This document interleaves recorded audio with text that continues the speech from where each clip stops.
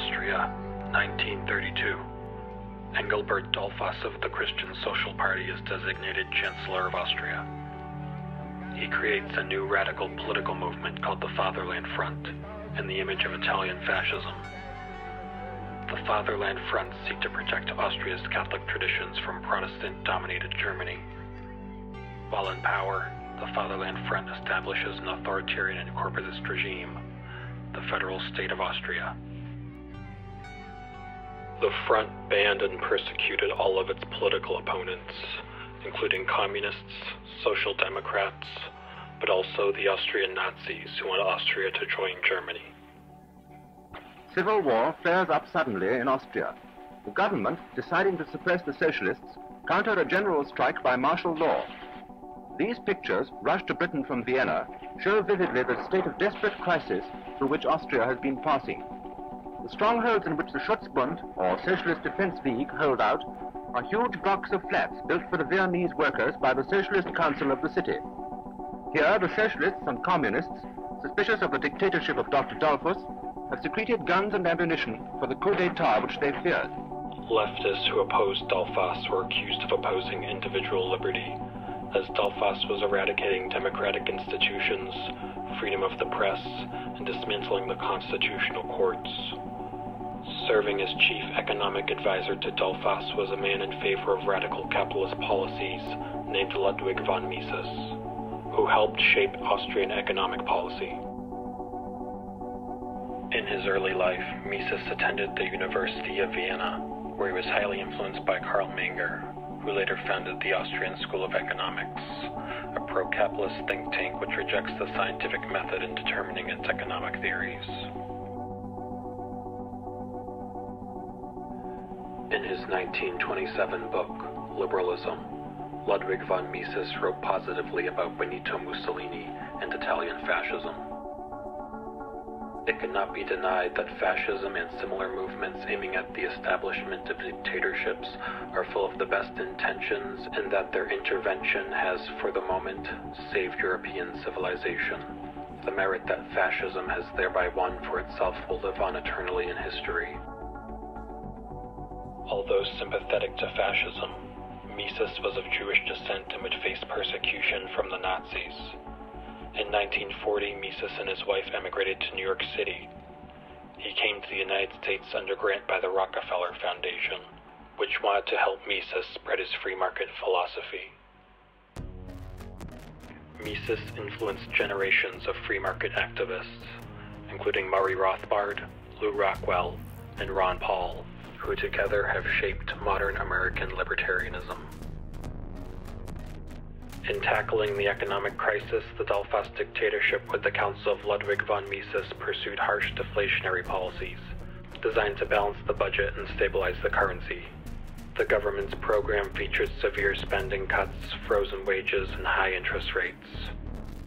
When in 1937 and 38 there was a modest recovery to the global depression, unemployment never dropped below 20%. This had a devastating effect on the legitimacy of the Austrian system.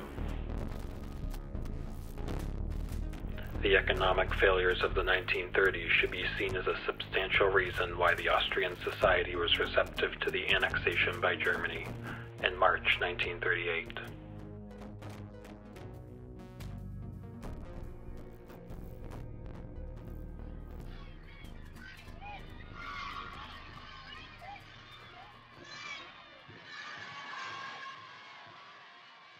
The majority of Austrians welcomed the Germans into their country. Now united with Germany, they were a power once again. Deutsche Männer und Frauen, ich proklamiere die älteste Ostmark des deutschen Volkes soll von jetzt ab das jüngste Bollwerk der deutschen Nation und damit des deutschen Reiches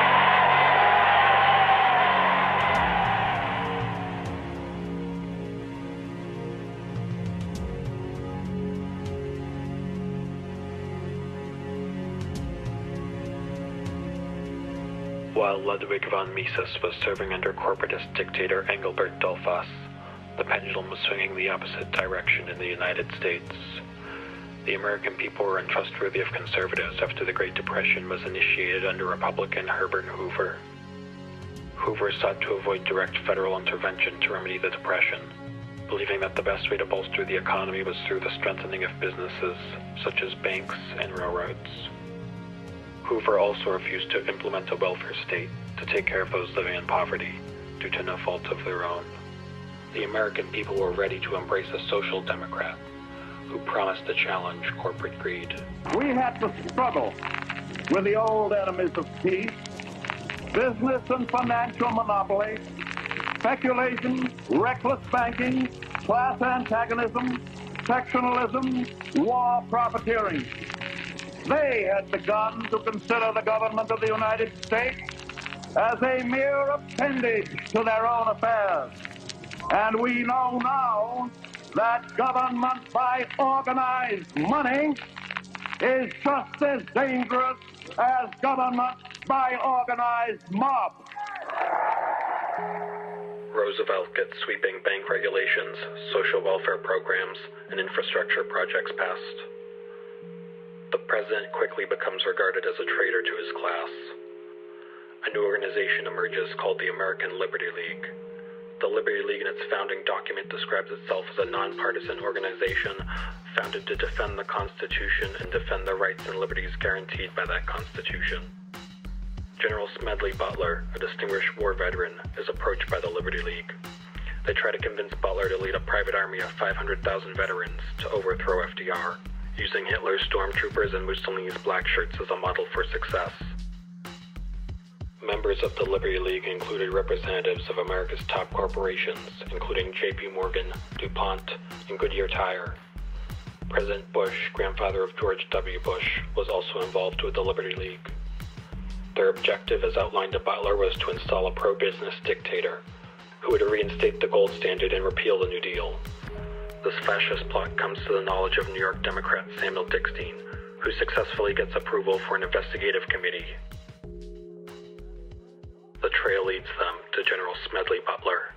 I appeared before the Congressional Committee, the highest representation of the American people, under subpoena to tell what I knew of activity, which I believe might lead to an attempt to set up a fascist dictatorship. The plan as outlined to me was to form an organization of veterans, to use as a bluff or as a club at least, to intimidate the government and break down our democratic institutions. The investigative committee ultimately finds evidence of a plot, but does not call for the testimony of the conspirators, and the investigation dies. The business elite soon realized a coup was no longer necessary if they could somehow divide the working class opposition, crippling the parliamentary process. After the end of World War II, large sects of the economic and political elite successfully shift focus to an all powerful big government. In other words, pay no attention to the man behind the curtain. Uh, what has been created by this half century of massive corporate propaganda is what's called anti politics. So anything that goes wrong, you blame the government. Well, okay, there's plenty to blame the government about. But the government is the one institution in which that people can change. It's the one institution you can affect by participation without institutional change, right? That's exactly why all the anger and fear is directed against the government. The government has a defect. It's potentially democratic. Corporations have no defect. They're pure tyrannies. So therefore you want to keep corporations invisible and focus all anger on the government. In 1946, what is generally regarded as the first free market libertarian think tank emerges in the United States, called the Foundation for Economic Education. FEE sought to sell free market capitalism as an entirely new product to those who lost faith in the capitalist system after the Great Depression. It was founded by an American economist influenced by the Austrian School of Economics named Henry Hazlitt.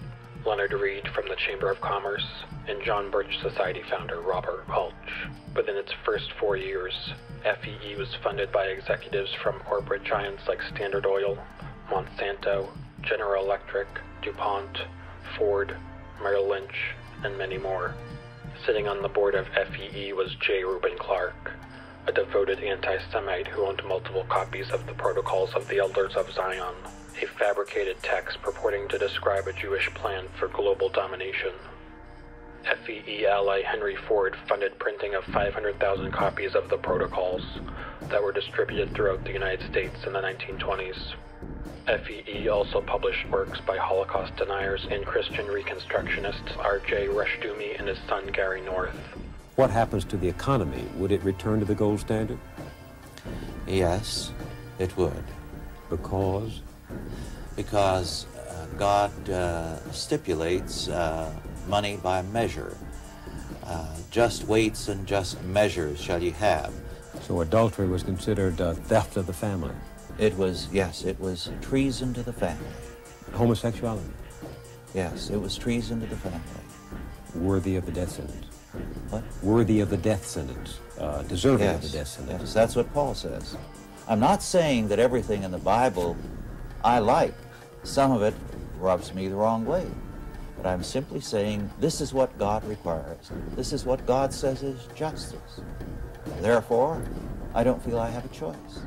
R.J. Rushdoony's son, Gary North, is the Director of Development for the Ron Paul Curriculum, a series of homeschooling videos that teach Austrian economic theories and historical revisionism. But uh, sort of along the line of uh, the pills uh, creating the immorality, I don't see it that way. I think the immorality creates the problem of wanting to use the pills.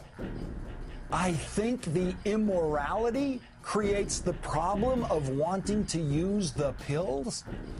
Sex creates the problem of wanting to use the pills. Ron Paul just equated sex with immorality.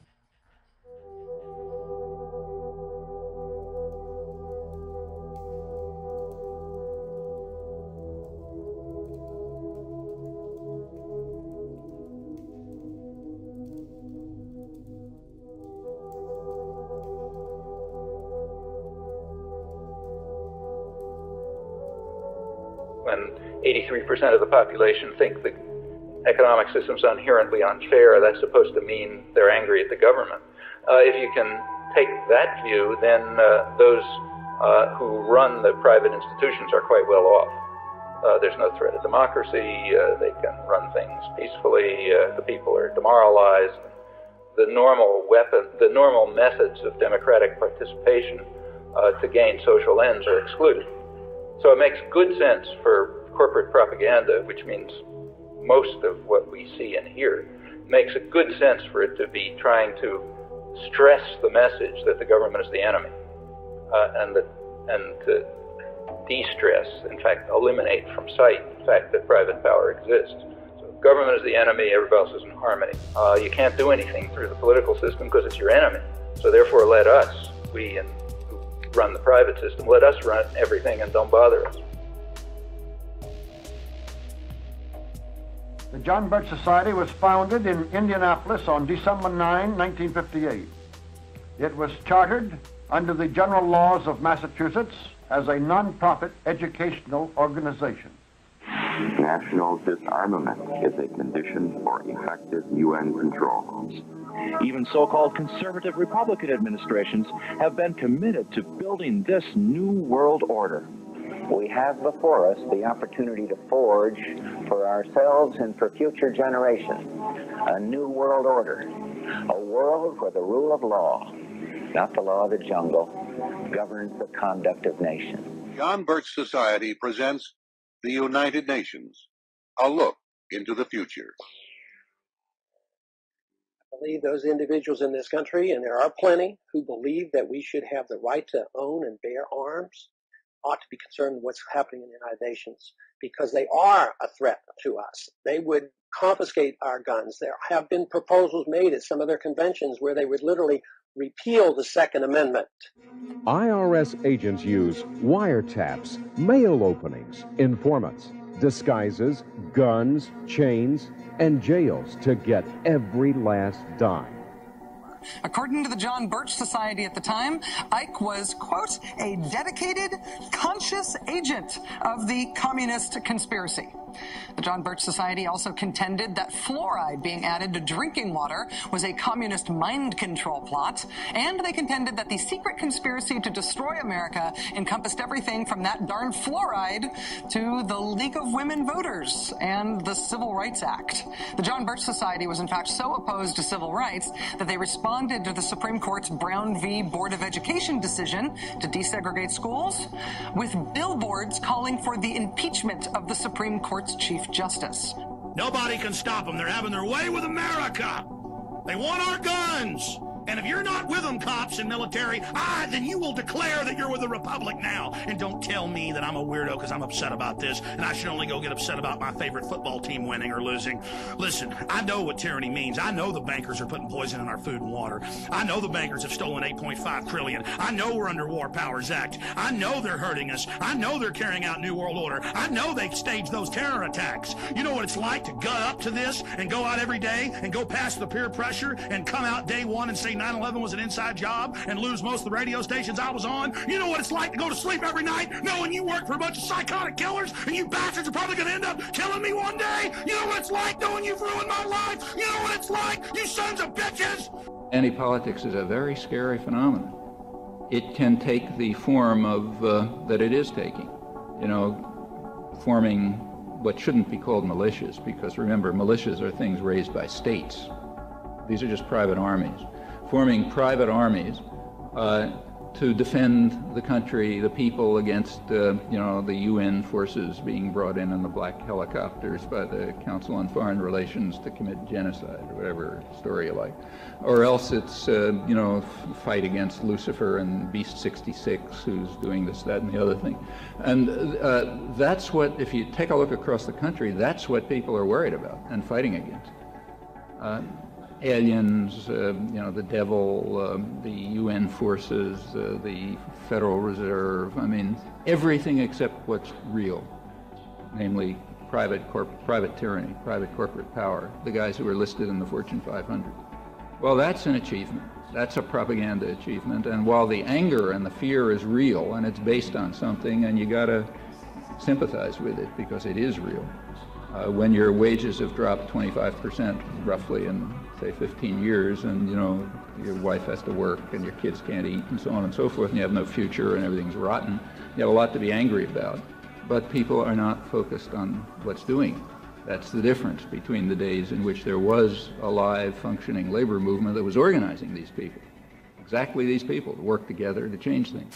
Undoubtedly the liberty-based libertarian free market von Mises Ron Paul movement of the last 30 years that was such a tiny voice 30 something years ago is now huge. One of the first men to describe themselves as a libertarian in the United States was journalist H.L. Mencken, a white supremacist and anti Semite who was part of the original America First movement, opposing the United States entering World War II. Mencken believed Darwin's theories of survival of the fittest should apply to society, and that the superior man should rule over what he saw as the inferior masses. This made him hostile towards all forms of democracy. Ayn Rand addressed Mencken in correspondence as the greatest representative of a philosophy to which she wanted to dedicate her life, individualism, and later described him as her favorite columnist. The newest proposals of having special millions spent on subnormal children is the attempt to bring everybody to the level of the handicapped. The Mises Institute was established in 1982 by Lew Rockwell, Burton Blumert, and Murray Rothbard. Almost immediately after its creation, the Mises Institute, whose headquarters reside in Auburn, Alabama, began publishing criticism of compulsory integration, attacks on Abraham Lincoln, and neo Confederate propaganda. Institute scholars have also spoken to racist groups such as League of the South. Murray Rothbard, a student of Ludwig von Mises, made it his goal to fuse capitalism with libertarianism in the United States and is considered the founder of anarcho capitalist philosophy. The United States is a uh, is sort of out of the world on this topic. Mm-hmm. Uh, Britain is to a limited extent, but the United States is like on Mars. So here, the term libertarian means the opposite of what it always meant in history. Uh, libertarian throughout modern European history meant socialist and anarchist. In 1992, Rothbard bashed the Republican establishment, the Democratic Party, and the mainstream media for what he referred to as a campaign of fear and hate against former KKK Grand Wizard and failed U.S. Senate candidate David Duke.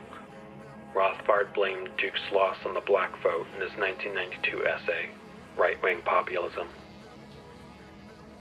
Similar sentiments were echoed in Ron Paul's infamous newsletters published between 1988 and 1996, when Ron Paul had briefly retired from politics. In a copy obtained by CNN of the Ron Paul Political Report, one of several newsletters published in his name during the 1980s and 90s, quote, order was only restored in LA when it came time for the blacks to pick up their welfare checks. Another excerpt. The criminals who terrorize our cities, in riots and on every non-riot day, are not exclusively young black males, but they largely are. As children, they are trained to hate whites, to believe that white oppression is responsible for all black ills, to fight the power, to steal and loot as much money from the white enemy as possible. Ron Paul's former chief of staff, Lew Rockwell, who was also a founder and chairman of the Mises Institute, was the editor of the newsletters. The racist and homophobic content didn't come as a surprise to those who closely followed the careers of Lew Rockwell and Ron Paul. In 1990, Lew Rockwell made the case for bringing racialized politics and culture wars to the forefront of the libertarian movement. He called this new movement paleo-libertarianism.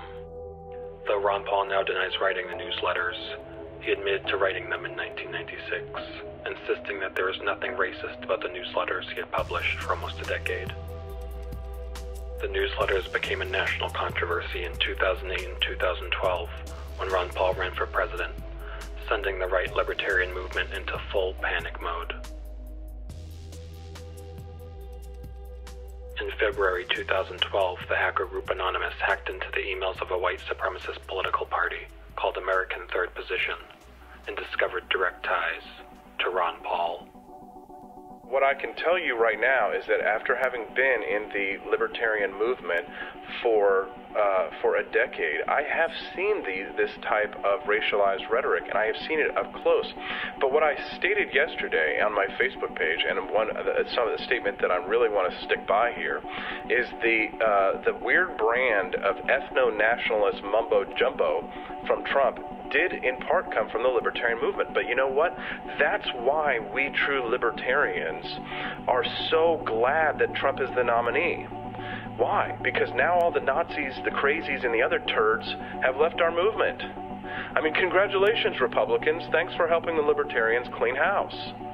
You know, at the very least, Trump has exposed jo- Alex Jones as the fascist child that I have been telling people that he was for years. He's a, a mountebank and a fraud and a snake oil salesman. And it's isn't it amazing too that the people who have been terrorizing us for the last decade about government putting us all in FEMA camps, remember that? They've now embraced the ideology of people who are who actually put people in camps. A snake knows only how to do one thing, and that is to bite and that is to kill. So the snakes that we're facing, we need to stop thinking that we can negotiate with them. I myself was involved in the Ron Paul campaign back in 2012. So when I walk up and I'm like, hi, I'm a fascist, they're like, oh, like Donald Trump. I'm like, not exactly, but close. Hail Trump! Hail our people! Hail victory!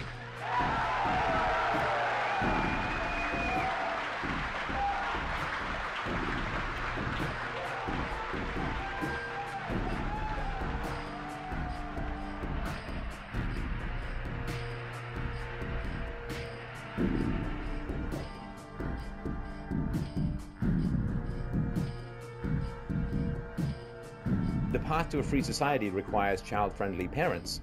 And if there are pouring into America hundreds and hundreds of thousands, if not millions, of child unfriendly or child hostile cultures, then if Donald Trump can put a stop to that, that buys some time to convince people closer to the child friendly paradigm to, to change their behavior so that a more peaceful society can come about.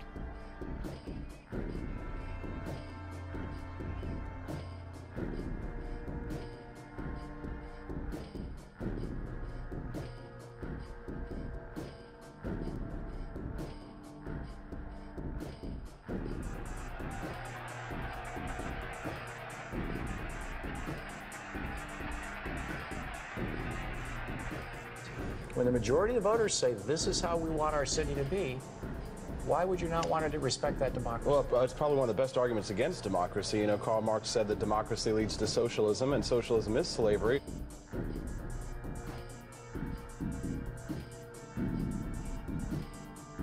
Monarchies are relatively superior over uh, democracy, traditional monarchies.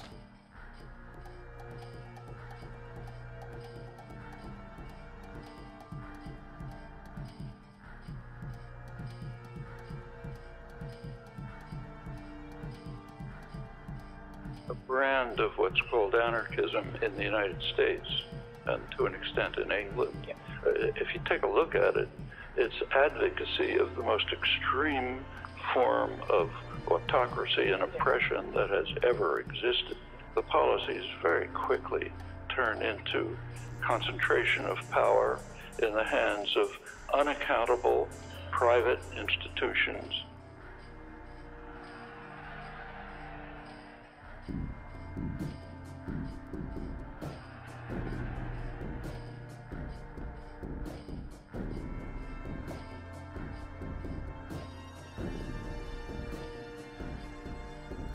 have private ownership of the means of production internally, it's essentially a totalitarian institution, almost necessarily.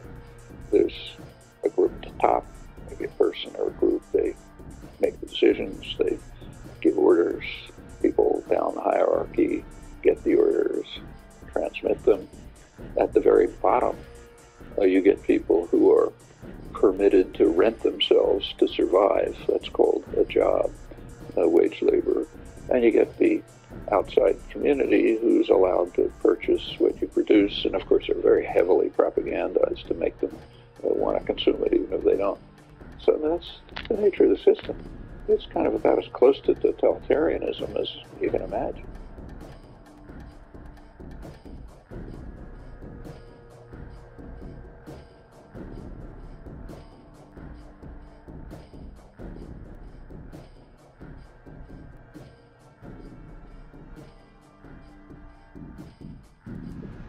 Hitler was obsessed with the idea of the survival of the fittest, and Goebbels' propaganda films reflected this obsession. Hitler believed human beings were simply animals, and that the strongest animal would always win. If his subordinates were strong enough, then they would succeed without his help. Aber Herr Professor, es fressen sich doch nicht alle gegenseitig auf. Wenn auch das nicht gerade. Aber sie leben alle in einem ständigen Kampf. Dabei wird das Schwache vernichtet. He needs intensive care for six months. Who pays? That's what freedom is all about, taking your own risks. This whole idea that you have to prepare and take care of everybody.